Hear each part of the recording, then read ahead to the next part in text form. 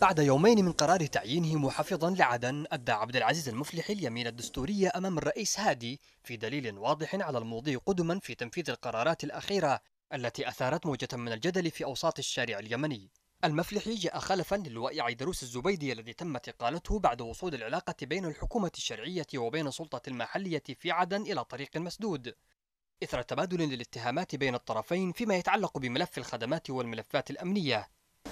التغيير بحسب مراقبين يعكس أزمة متعددة الأبعاد والأطراف تتعلق بعدم وضوح العلاقة بين مكونات التحالف والأطراف اليمنية. ففي حين اندفعت السلطة المحلية في عدن باتجاه الإمارات لم تتمكن الأخيرة من الانفتاح على الحكومة والرئاسة وبقية المكونات داخل الشرعية. عقب القرار المفاجئ ارتفع منسوب التوتر في شوارع عدن لكنه لم يخرج عن سياق الاحتجاج والتظاهر.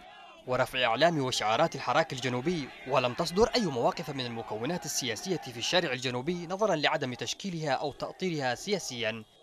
لقاء السفير الأمريكي بالمحافظ الجديد عبد العزيز المفلحي الجمعة الماضية أسهم إلى حد كبير في كبح جماح المواقف المتشنجة وخاصة تلك الصادرة من قبل كتاب ومسؤولين محسوبين على إحدى دول التحالف.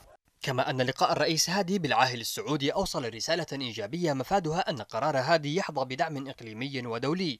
وهو ما سيجعل من قرار وصول المحافظ الجديد إلى عدن وشيكا وهو يحمل معالجات أو رؤى اقتصادية لحلحلة الأوضاع في المحافظة وتقديم حلول وبدائل في مجال الخدمات العامة. تعيش عدن على صفيح ساخن من جميع النواحي وما زالت الأصابع على الزناد وهو ما يلقي بالمسؤولية الكبرى والمباشرة على دول التحالف وحلفائها على الأرض. للدفع باتجاه تجاوز الإشكالية الحالية واعتبار أن القرار جزء من صلاحيات الرئيس ومسؤولياته. والالتفات للمعركة الكبرى المتمثلة باستعادة الدولة وإنهاء حالة الانقلاب.